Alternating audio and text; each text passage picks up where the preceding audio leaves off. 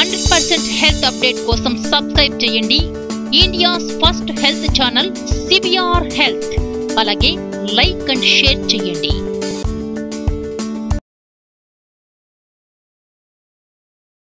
నమస్కారం. ఇవాల్టి మొదలు సివిఆర్ హెల్త్ అందిస్తున్న ప్రత్యేక doctors talk live women's health లైవ్కి స్వాగతం. స్త్రీల ఆరోగ్యం పైననే కుటుంబ ఆరోగ్యం ఆధారపడి ఉంటుంది. ఆమె ఆరోగ్యంగా ఉంటేనే అందరూ ఆరోగ్యంగా ఉన్నట్టే. అందుకే స్త్రీల ఆరోగ్య సమస్యల పట్ల చక్కని అవగాహన కలిగి ఉండాలి. కేవలం స్త్రీలు ఆరోగ్య సమస్యలను దృష్టిలో పెట్టుకొని ఈ కార్యక్రమాన్ని అందిస్తున్నాము. ఇవాల్టి అంశం ప్రెగ్నెన్సీలో ఆస్తమా. ఈ విషయంపై అవగాహన కలిగించేందుకు స్టూడియోలో ఉన్నారు డాక్టర్ ప్రభాకర్ రావు గారు సీనియర్ పల్మనాలజిస్ట్. ఈ అంశం పైన మీకున్న సందేహాలను స్క్రీన్ మీద కనిపిస్తున్న నెంబర్కి కాల్ చేసి నేరుగా డాక్టర్ గారితో మాట్లాడవచ్చు. నమస్కారం డాక్టర్ గారు. నమస్కారం. ప్రేక్షక మహాశలు కూడా నమస్కారం. రైట్ డాక్టర్ గారు ముందుగా మనం ప్రెగ్నెన్సీలో ఆస్తమా వస్తే లేదంటే ప్రెగ్నెన్సీకి ముందు ఆస్తమా ఉంటే ఎలాంటి జాగ్రత్తలు తీసుకోవాలి? దీని గురించి మాట్లాడుకుందాం. ప్రెగ్నెన్సీ ముందు ఆస్తమా ఉంటే ప్రెగ్నెన్సీలో ఆస్తమా రావాలని ఏమీ రూల్ లేదు. కానీ రావచ్చు. ఎందుకంటే కొన్ని హార్మోనల్ చేంజెస్ వల్ల స్ట్రెస్ స్ట్రెయిన్ వల్ల వాళ్ళకి ఆస్తమా ఎక్కువ అవకాశాలు ఉంటాయి. అట్లాగే ఆస్తమా లేకపోయినా కూడా ప్రెగ్నెన్సీ సమయంలో కొన్ని కారణాల వల్ల కొంతమందికి మొట్టమొదటిసారిగా ఆస్తమా రావచ్చు. ఈ ప్రెగ్నెన్సీ మూడు ట్రైమిస్టర్స్ ఉంటుంది. First trimester second trimester third trimester అంటే మూడు మూడు నెలలు అనమాట ఈ ఆస్తమా ఉన్న వాళ్ళకి ఫస్ట్ ట్రైమస్టర్లో కొంతమందికి ఎక్కువ అవ్వచ్చు. సెకండ్ ట్రైమస్టర్లో తగ్గొచ్చు. ఎందుకు తగ్గొచ్చు అంటే అది డయాఫ్రమ్ అన్న మసులు ఉంటుంది. అది కొంచెం రిలాక్స్గా ఉంటుంది. మీదకి వెళ్ళి కొంచెం రిలాక్స్గా ఉంటుంది. కానీ ఇదేం రూల్ కాదు ఇది. ఇది అబ్సల్యూట్గా రూల్ కాదు. థర్డ్ ట్రైమాస్టర్ తర్వాత డెలివరీ తర్వాత డయాఫ్రమ్ కిందకి జారుతుంది. కిందకి జారి మళ్ళీ ఆస్తమా ఎక్కువ అవకాశాలు ఉన్నాయి. కానీ ఒకటి గమనించుకోవాలి ఏంటంటే ఇది చాలా కారణాలు. ఒక్క కారణం అని చెప్పలేము. సో క్లుప్తంగా చెప్పాలంటే ఆస్తమా ఉన్న వాళ్ళకి ప్రెగ్నెన్సీలో ఆస్తమా వచ్చే అవకాశాలు ఉంటాయి అట్లాగే ఆస్తమా లేని వాళ్ళకు కూడా ప్రెగ్నెన్సీలో కొన్ని కారణాల వల్ల ఆస్తమా సూచనలు కనబడవచ్చు ఇది కుటుంబ వాళ్ళ పరంపరంగా రావచ్చు. వంశపారంపరంగా రావచ్చు. లేకుంటే స్ట్రెస్ అండ్ స్ట్రెయిన్ వల్ల కూడా రావచ్చు. అది కాకుండా మరికొన్ని ఇన్ఫెక్షన్స్ ఎందుకంటే ప్రెగ్నెన్సీ టైంలోనూ ఇమ్యూనిటీ అనేది తగ్గుతుంది. ఇమ్యూనిటీ అనేది తగ్గడం వల్ల కూడా రోగ నిరోధక శక్తి తగ్గి కొన్ని కొన్ని వైరల్ ఇన్ఫెక్షన్స్ కూడా రావచ్చు. ఆ వైరల్ ఇన్ఫెక్షన్స్లో ప్రప్రథమైన ఇమ్యూనోల ఇమ్యూ ఇది ఇన్ఫ్లుయెంజా అందుకే ప్రెగ్నెన్సీ టైంలో ఇన్ఫ్లుయెంజా వ్యాక్సిన్ తీసుకోవాల్సిన అవసరం ఉంటుంది. రైట్ డాక్టర్ గారు ఆస్తమా అనేది మరి ఒక క్రానిక్ కండిషన్ ఇది ఎందుకు వస్తుంది? ఎవరిలో ఈ రిస్క్ ఎక్కువ ఉంటుంది? ఆస్తమా సహజంగాను కలుషిత వాతావరణం నుండి స్మోకింగ్ నుండి వంశపారంపర్యమైన కారణాల నుండి ఎలర్జీ నుండి వస్తాయి. క్లుప్తంగా ఇవి కారణాలు. ప్రస్తుత పరిస్థితుల్లో కాలమాన పరిస్థితుల్లోనూ చెప్పాలంటే ఈ కలుషిత వాతావరణం నుండి ఎక్కువ అవుతున్నది. ఈ వాతావరణ సంరక్షణ చేసుకొని మనం స్వచ్ఛంగా ఉంటే చాలా మటుకు ఈ లంగ్ ప్రాబ్లమ్స్ ఆస్తమే కాదు లంగ్ ప్రాబ్లమ్స్ కూడా తగ్గే అవకాశాలు ఉంటాయి. రైట్. డాక్టర్ గారు మరి ఈ ఆస్తమా అనేది ఉంటే ప్రెగ్నెన్సీకి ట్రై చేయకుండా ఉంటారు కొంతమంది. అది ఎంతవరకు కరెక్ట్ అంటారు? తప్పు. ఆస్తమా ఉన్నంత మాత్రాన ప్రెగ్నెన్సీ ధరించకూడదంటే ఏమీ లేదు. ఆస్తమా ఉన్నా కూడా ది కన్సెప్షన్ అవ్వచ్చు ప్రెగ్నెన్సీ కంప్లీట్గా నార్మల్గా ఉండొచ్చు కానీ తగు జాగ్రత్తలు తీసుకోవాలి. డాక్టర్ గారికి చెప్పాలి ఆస్తమా ఉన్నది అనేసి. అందుకు ఆ ప్రెగ్నెన్సీ టైంలోనూ నేను ఎట్లాగైతే విశదీకరించానో ఆ ఆ కారణాల వల్ల ఇది ఎక్కువ అవకాశాలు ఉండొచ్చు. కాబట్టి డాక్టర్కి చెప్పి ఆ విధంగా దాని తాలూకా నిరోధక జాగ్రత్తలు తీసుకున్నా ఎక్కువ ఎక్కువైనా కూడా ఆ మందులు తీసుకున్నా కూడా తగ్గిపోతుంది. ఆస్తమా ఉన్నంత మాత్రాన ప్రెగ్నెన్సీ చేయకూడదు ప్రెగ్నెన్సీ కాకూడదన్న మాట ఎక్కడ లేదు. రైట్. డాక్టర్ గారు మరి ఈ ఆస్తమా ఉన్న పేషెంట్లు ప్రెగ్నెన్సీలో మందులు వాడుకోకూడదని మానేయటం జరుగుతుంది. దాని గురించి మీరేమంటారు? ప్రెగ్నెన్సీ ఉన్నప్పుడు ఆస్తమా వస్తే తప్పకుండా ఆస్తమా మందులు వాడుకోవచ్చు. ప్రెగ్నెన్సీ లేనప్పుడు ఏ ఆస్తమా మందులు వాడుతున్నారో అదే ఆస్తమా మందులు ప్రెగ్నెన్సీ ఉన్నప్పుడు కూడా వాడుకోవచ్చు. ముఖ్యంగా ఇన్హేలర్స్. అవసరం ఉంటే బిళ్ళలు. ఇంకా అవసరం ఉంటే నెబులైజరు. ఇంకా అవసరం ఉంటే ఆక్సిజన్. ఆక్సిజన్ ఎందుకు అంటే ఇప్పుడు ఈ ప్రెగ్నెన్సీలోనూ సాధారణంగా లేడీస్కి ముప్పై పౌండ్ల దాకా వెయిట్ ఎక్కువ అవుతుంది. ఆ ముప్పై పౌండ్లు వెయిట్ ఎక్కువ అవడం వల్ల సహజంగానూ కొంచెం ఆయాసం రావచ్చు. ఆ ఆయాసం ఆస్తమా కాదు. కానీ ఆ ఆస్తమా ఉన్న వాళ్ళకి ఆ ఆయాసం నుండి ఇంకా ఆక్సిజన్ తగ్గుతుంది. ఎందుకంటే ఈ తల్లి నుండి పిల్లకి న్యూట్రియంట్స్ అంతాయి. తల్లి నుండి గర్భస్థ శిశువుకి ఏమొచ్చి ప్రాణవాయువు కూడా అందుతుంది సో ఈ సర్క్యులేషను తర్వాత డిమాండ్ ఎక్కువ అవుతుంది. న్యూట్రిషన్ డిమాండ్ ఎక్కువ అవుతుంది. ఆక్సిజన్ డిమాండ్ ఎక్కువ అవుతుంది. ఫ్లూయిడ్స్ డిమాండ్ ఎక్కువ అవుతుంది. ఎలక్ట్రోలైట్స్ డిమాండ్ ఎక్కువ అవుతుంది. అందువల్ల సహజంగాను ఆక్సిజన్ తక్కువే అవకాశాలు ఉంటాయి. కాబట్టి ఎక్కువ కాకుండా ఆక్సిజన్ తగు సమయంలో తీసుకోవడం చాలా మంచిది మిగతా మందులతో. ఇక్కడ నేను చెప్పదలుచుకుంది ఏంటంటే ఆస్తమా మందులు ప్రెగ్నెన్సీ ఇప్పుడు కూడా వాడుకోవచ్చు. దాంట్లో ఏం కంగారు పడవలసిన అవసరం లేదు. ఒకటి యాంటీబయాటిక్స్ ఏమైనా ఉంటే ఆ యాంటీబయాటిక్స్ తాలూకా దుష్ప్రమాణాలు మనం మంచి గమనించుకోవాలి. అది డాక్టర్ గుర్తించి ట్రీట్మెంట్ ఇస్తారు. రైట్ డాక్టర్ గారు మరి ఈ ఆస్తమా అనే ఎక్కువయ్యే అంశాలు ఏ విధంగా ఉంటాయి? అలాగే గర్భిణీలు ఎటువంటి జాగ్రత్తలు తీసుకోవాలి?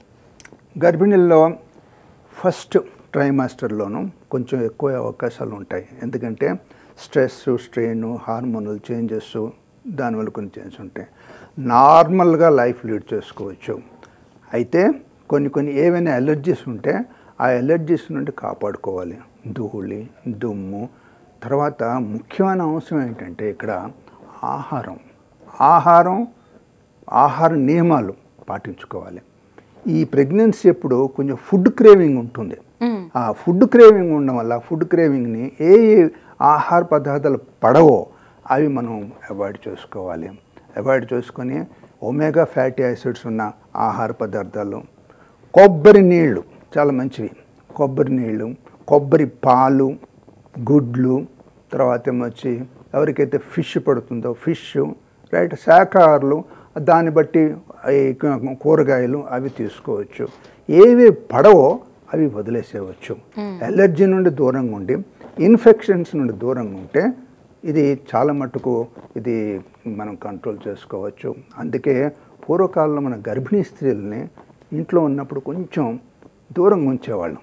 ఎందుకంటే ఎంతమంది వస్తారు చూడడానికి? ఎంతమంది చూడడానికి వచ్చినప్పుడు వాళ్ళ నుండి కూడా ఇన్ఫెక్షన్స్ రావచ్చు.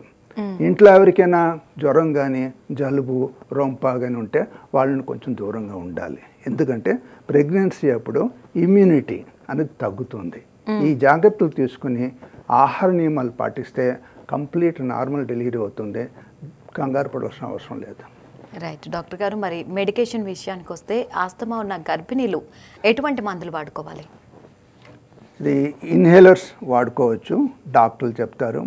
ఆ ఇన్హేలర్స్ ట్యాబ్లెట్స్ సేఫ్. దాంట్లో సందేహం లేదు. నెబులైజర్స్ నేను చెప్పాను నెబులైజర్ వాడుకోవచ్చు. అత్యవసర పరిస్థితుల్లో ఆక్సిజన్ వాడుకోవచ్చు. ఇన్ఫెక్షన్ ఉంటే యాంటీబయాటిక్స్ వాడాలి. యాంటీబయాటిక్స్ ఇస్తున్నప్పుడు మటుకు డాక్టర్లు ఏమొచ్చి జాగ్రత్త వహించాలి. ఏ యాంటీబయాటిక్స్ గర్భస్థ లేడీకి ఇవ్వచ్చో ఇవ్వకూడదు అన్నది వాళ్ళు తెలుసుకోవాలి. ఎందుకంటే కొన్ని కొన్ని మందుల వల్ల కూడా ఆస్తమా ఎలర్జీ ఎక్కువ అవకాశాలు ఉంటాయి. ఇది గమనించవలసిన విషయం. రైట్ ఒక కాలర్ సిద్ధంగా ఉన్నారు. తీసుకుందాం డాక్టర్ గారు. హలో ఆ, మేడం. నమస్తే అండి.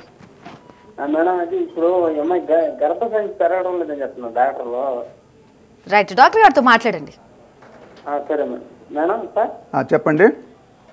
అదే సార్ ఇప్పుడు అమ్మాయి ప్రెగ్నెంట్ అయింది ఇంత ముందు సరే. అది ప్రెగ్నెంట్ అయితే అబాసన అయిపోయింది. పిల్లం పెరగలేదని అబాసన అయిపోయింది. ఓకే.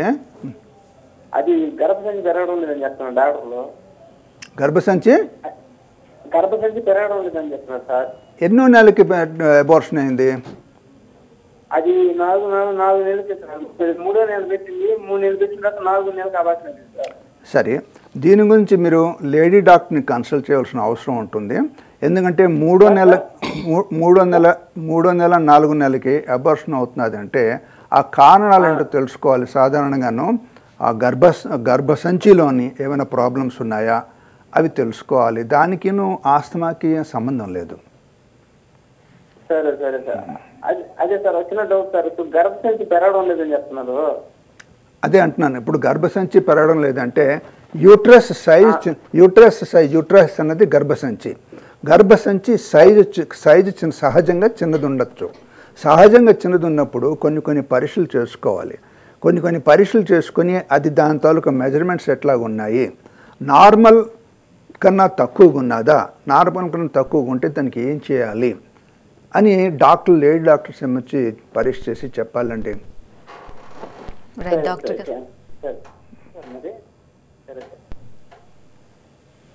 ఆల్ రైట్ డాక్టర్ గారు మరి ఒకసారి ప్రెగ్నెన్సీలో ఆస్తమా ఉంటే మరొక ప్రెగ్నెన్సీకి ట్రై చేసినప్పుడు అప్పుడు కూడా వచ్చే అవకాశం ఉందంటారా ఆస్తమా? అవకాశాలు ఉన్నాయి. ఓకే అవకాశం. ఎందుకంటే ఇది సహజ సిద్ధంగాను దేహ తాలూకా పరిస్థితి ఇది. మ్మ్. దీనికి ఇమ్యూనో ఇమ్యూనిటీ అండ్ ఎలర్జీ అనే కారణాలు.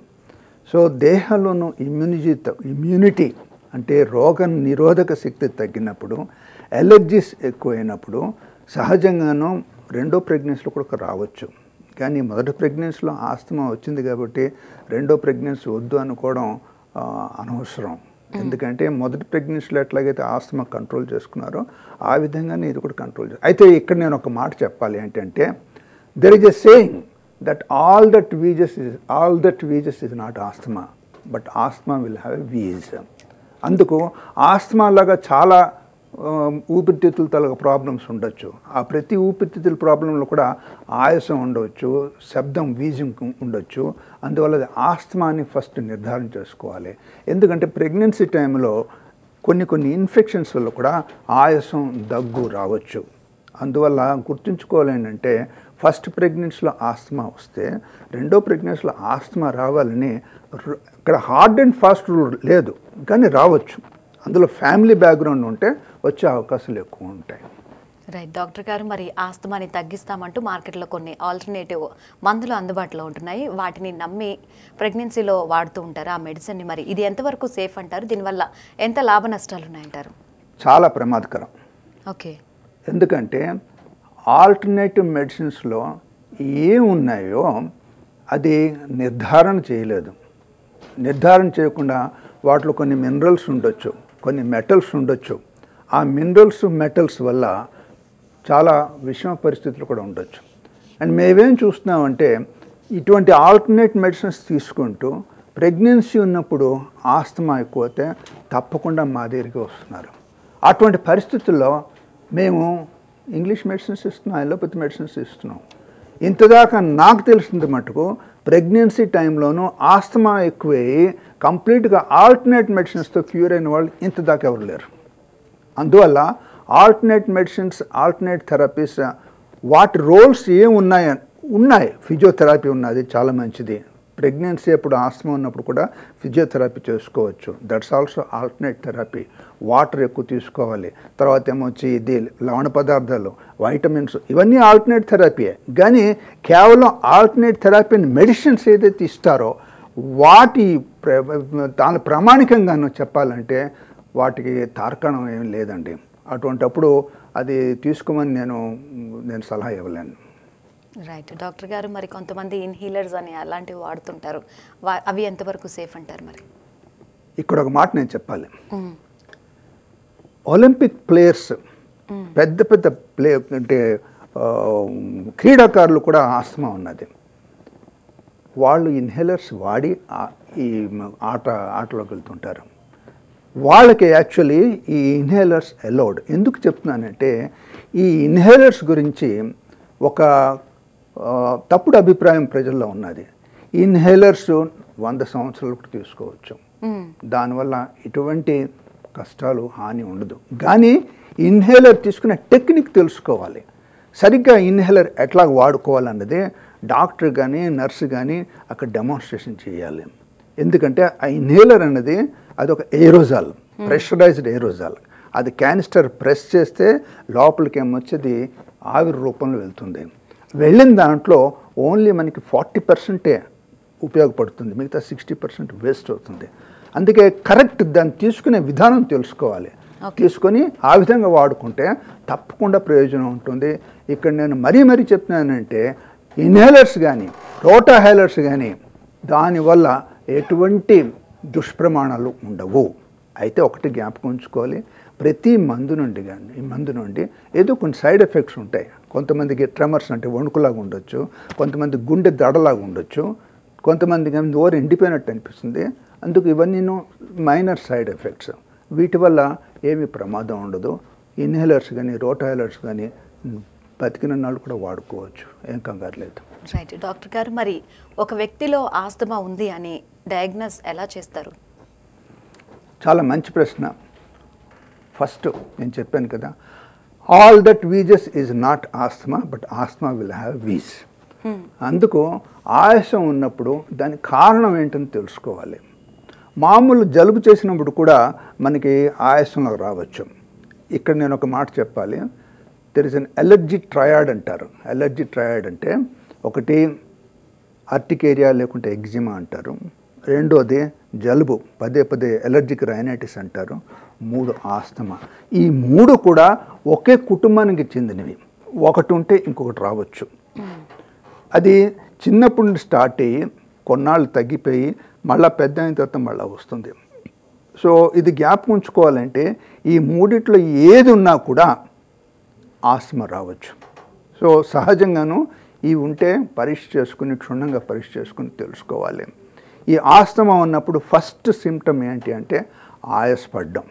ఆ ఆయాసపడినప్పుడు దాంతో కుయ్యి కుయ్యి అని శబ్దం వస్తుంది. దీనికే వీజ్ అంటారు. తర్వాత కొంతమందికి దీనివల్ల ఇన్ఫెక్షన్ నుండి దగ్గు కఫం రావచ్చు. దాని తర్వాత జ్వరం కూడా ఇన్ఫెక్షన్ వల్ల రావచ్చు. కొంతమందికి సీజన్స్లోను దీనికి ఎలర్జిక్ ఆస్తమా అంటారు. సీజన్స్లో రైనీ సీజన్లో కానీ వింటర్ సీజన్లో కానీ ఇది రావచ్చు. కొంతమందికి throughout the year perennial asthma అంటారు సో అది కారణం తెలుసుకోవాలి. దానికి ఫస్ట్ లక్షణాలు లక్షణాలు ఏంటంటే ఆయాసం. ఈ ఆయాసం అన్నది చిన్నప్పటి నుండి వార్ధక్యం దాకా రావచ్చు. సో ఆస్తమా ఇప్పుడే రావాలని ఏది రూల్ లేదు. Any time it can come okay. At any time any time it can come in different forms.